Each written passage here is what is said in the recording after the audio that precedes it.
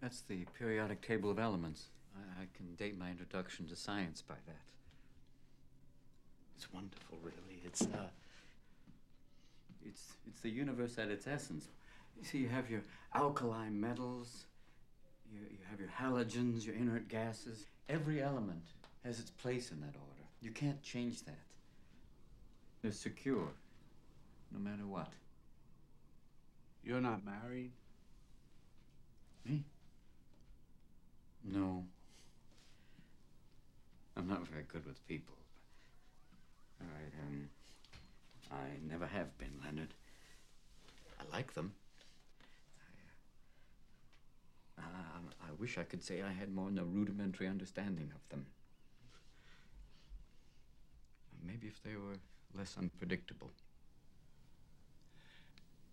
Eleanor would disagree with you. Eleanor? Miss Costello. Oh, of course.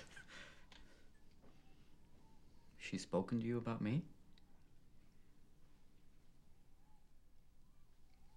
What did she say? That you are a kind man, that you care very much for people.